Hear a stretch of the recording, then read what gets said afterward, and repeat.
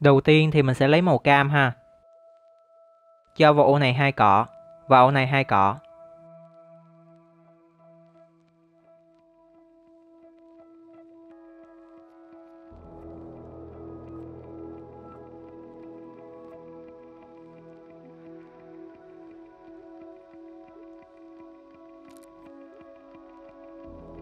Tiếp theo là màu vàng. Mình sẽ cho vào ổ thứ nhất 3 cọ.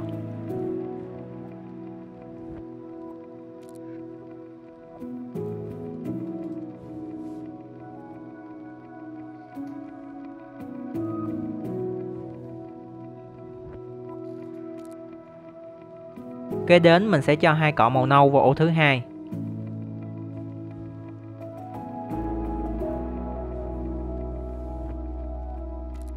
Đồng thời cho ra đây một cọ.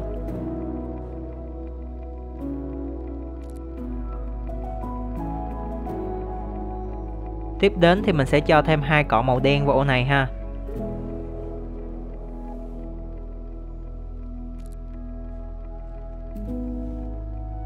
Đây là ba màu hôm nay mình sẽ dùng để tô nền. Gồm có ô này đó chính là hai cọ màu cam pha với ba cọ màu vàng. Ô này là hai cọ cam pha với hai cọ nâu và ô này đó chính là một cọ nâu pha với hai cọ đen.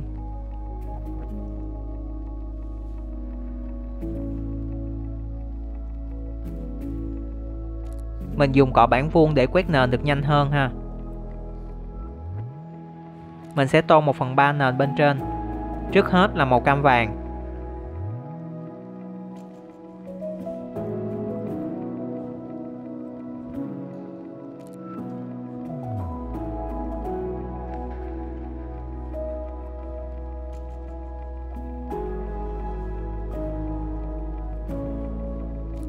Sau đó mình sẽ tới màu cam nâu Tô đoạn dao cho miệng rồi đi lên trên một đoạn.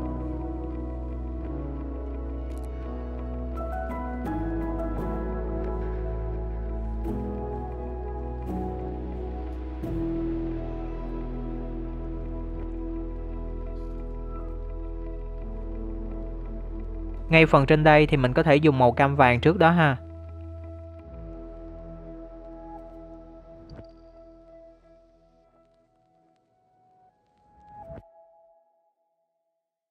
Và phần cuối cùng đó chính là màu nâu đen.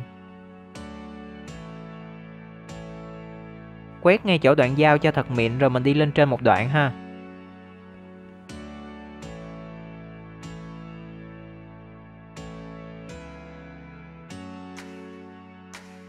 Sau đó mình sẽ tiếp tục chấm màu và tô hết phần bên dưới.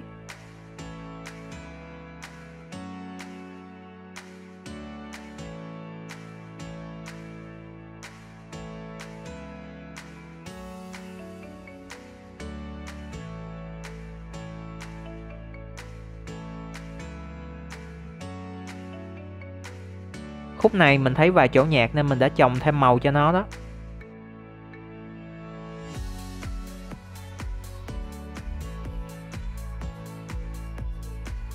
Bây giờ thì mình sẽ dùng cọ tỉa để vẽ thân cũng như là lá cho hoa. Mình sẽ vẽ từ vùng đậm này đi lên trên đây ha. Mình sẽ dùng màu nâu đen. Mình đang kéo từ dưới lên trên, nhưng nếu muốn dễ hơn thì mọi người có thể kéo từ trên xuống dưới nha. Cách đó sẽ dễ hơn và hiệu quả hơn đó.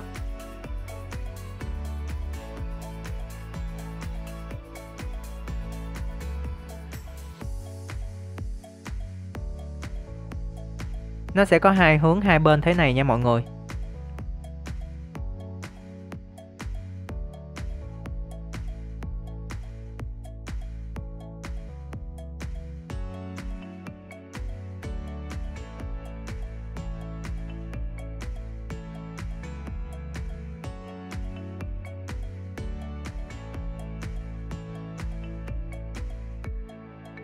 Sau đó mình sẽ vẽ thêm các đài hoa vào.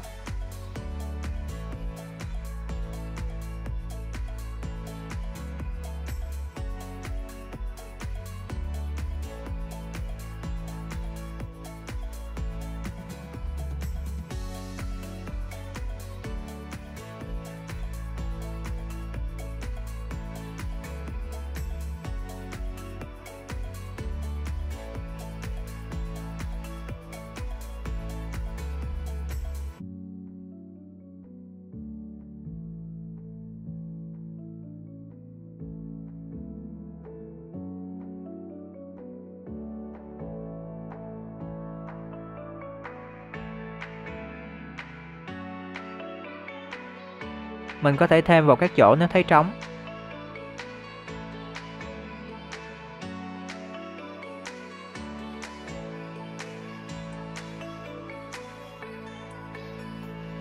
Lúc này mình viền lại phần thân bên trên cho nó dày hơn một xíu.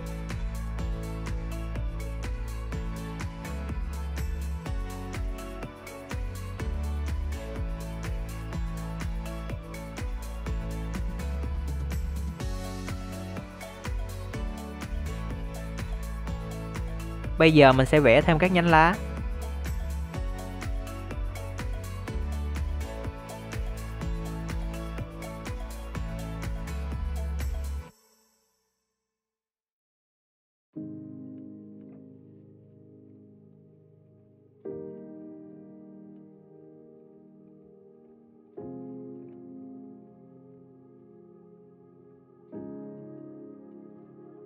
Mọi người vẽ trên thân của những cành hoa cũng được, nhưng mà ít thôi nha.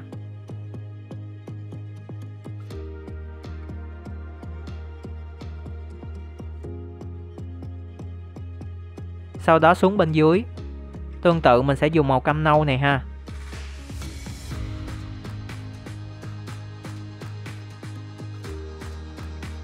Khúc này mình nhận ra kéo từ trên xuống nó sẽ dễ hơn và làm cho phần thân bên trên cũng dày hơn nên ngay từ ban đầu mình có gợi ý cho mọi người là kéo từ trên xuống thay vì là kéo từ dưới lên đó nha.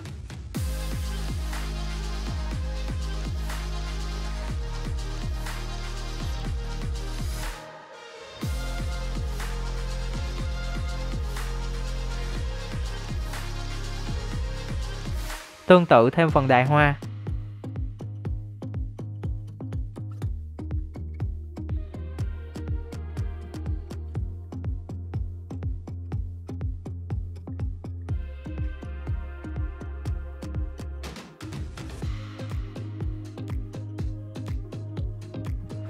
Khúc này mình thêm lá.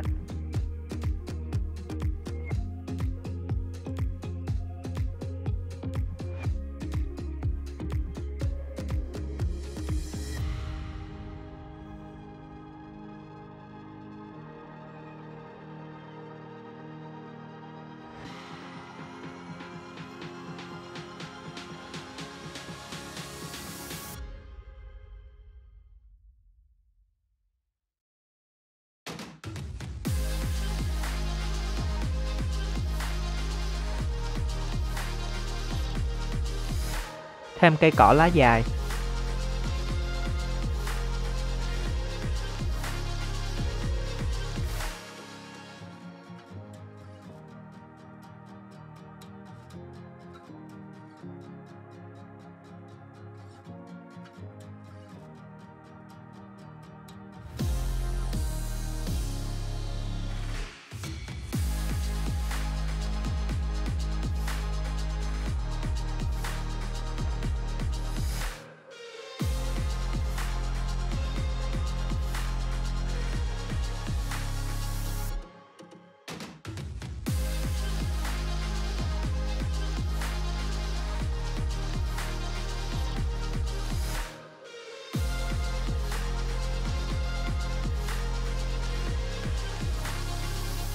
Đoạn này mình dùng màu cam vàng để vẽ các nhụy hoa cúc, họa mi. Do đa số hoa hướng lên trên nên hầu như mình chỉ vẽ một nửa hình tròn thôi.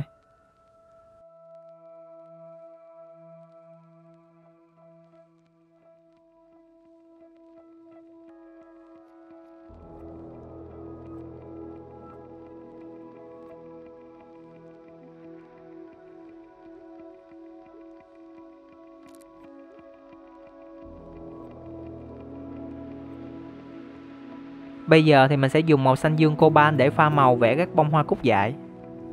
Mình lấy màu xanh ra ô này và mọi người lưu ý là chỉ chấm một chút nước thôi nha. Màu sệt thì vẽ các cánh hoa lên màu sẽ được đậm và đẹp hơn.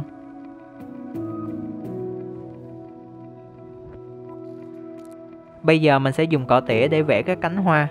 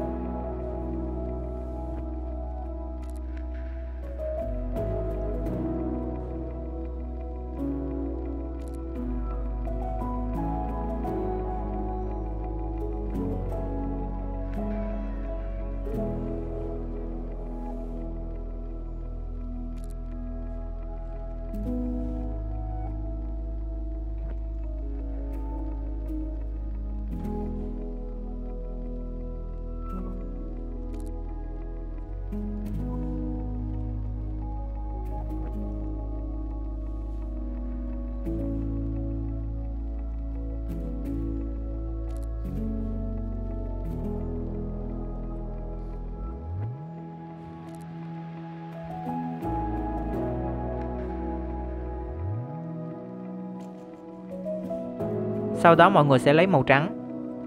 Mình sẽ lấy một cọ ra đây. Và một cọ vào ô này. Sau khi đánh đều lên rồi thì mọi người sẽ trích một ít nè, Qua đây và chấm cho nó một ít nước. Mình sẽ được hai tông xanh dương sáng hơn nha.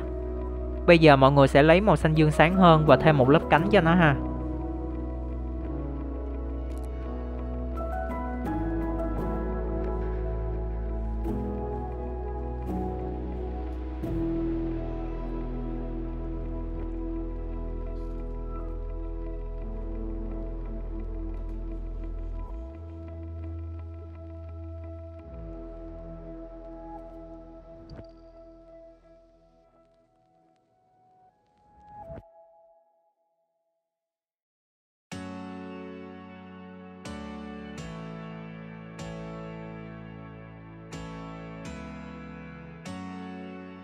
Còn màu xanh sáng nhất thì mình chỉ cho những bông hoa ở phía trên thôi.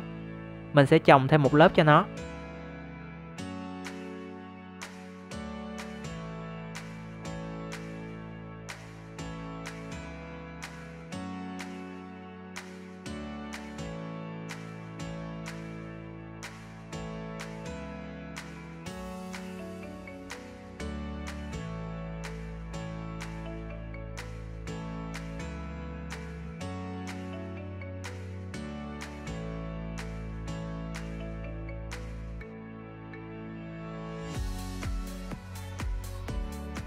Mấy hoa này thì mình có thể điểm cho nó vài nét thôi nha mọi người. Còn những bông hoa dưới đây thì mình không cần thêm. Như vậy nó sẽ tạo ra một hiệu ứng bắt sáng. Những bông hoa phía trên nhận được ánh sáng nên nó sẽ sáng hơn.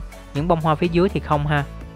Ví dụ như mọi người thấy những bông hoa phía dưới nó hơi ít cánh thì mọi người có thể thêm một lớp nữa, Nhưng với màu xanh trước đó ha. Nhưng mà lớp này thì nó không cần thiết nha mọi người.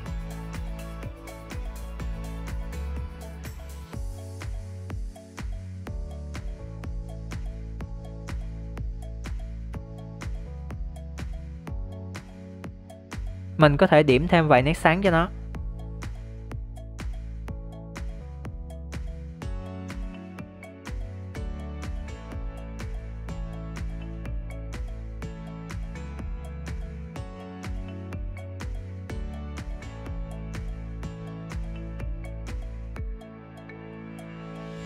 Còn những cái nhụy cam là những cái nhụy hoa cúc họa mi á, Thì bây giờ mọi người có thể lấy màu vàng nguyên chất nè. Mọi người chấm một ít màu vàng nguyên chất ha. Nhấn sáng phía trên đỉnh chớp của các nhụy này.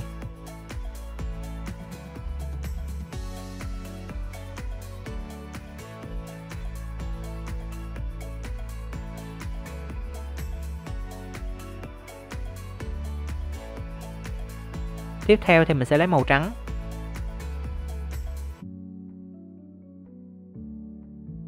Tuy nhiên do cái nền của mình là một cái nền cam nâu nên mình không thể dùng màu trắng nguyên chất, nó sẽ rất là nổi bật.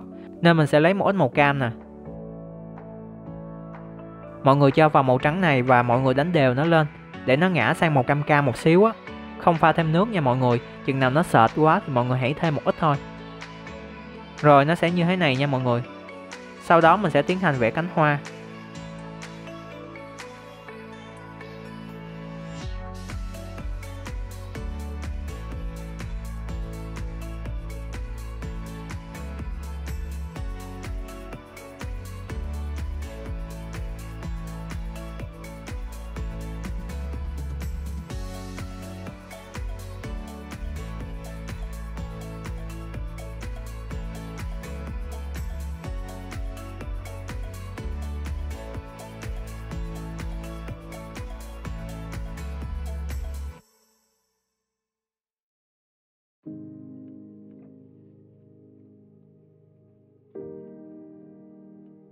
Mình có thể dùng màu cam vàng để vẽ thêm thân của những bông hoa cúc này.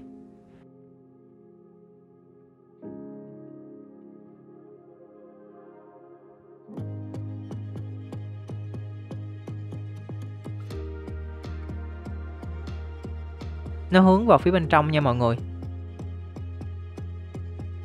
Mình sẽ vẽ thêm vài nhánh lá.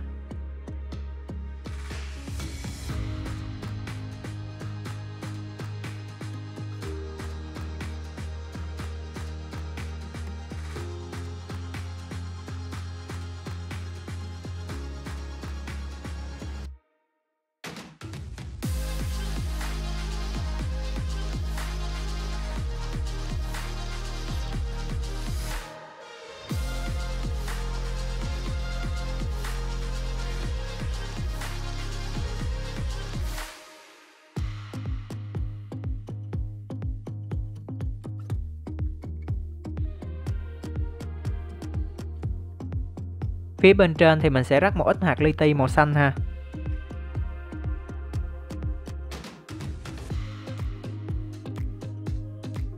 Bên dưới thì là màu trắng vẽ hoa khi nãy, nhớ màu loãng một xíu thì mọi người mới rắc được nha. Bây giờ mình sẽ hướng dẫn mọi người cách lấy màu tạo các đốm tròn lung linh như sau. Mọi người sẽ chuẩn bị một mẫu khăn giấy nè, thêm một cây cọ và đây chính là ly nước của mình.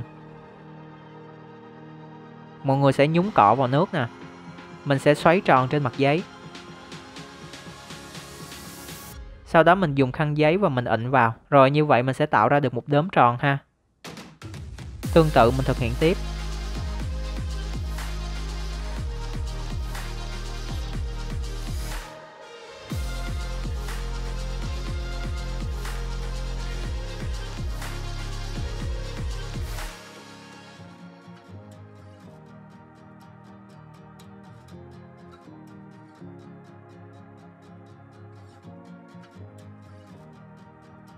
Hoặc một cách khác là mọi người cứ chấm nước và để đó một chút thì màu tự động nó sẽ bị rút ra thôi.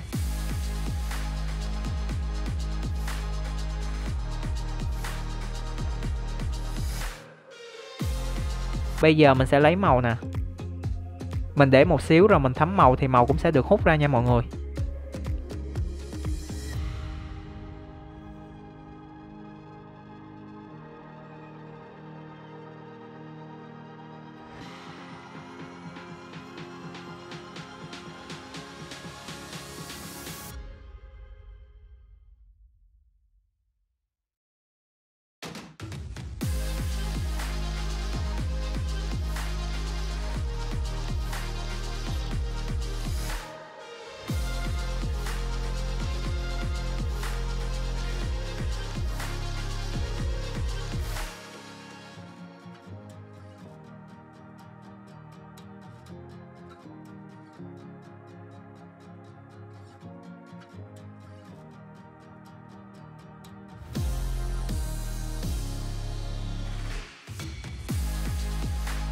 Cuối cùng thì mình tháo băng keo nữa là xong.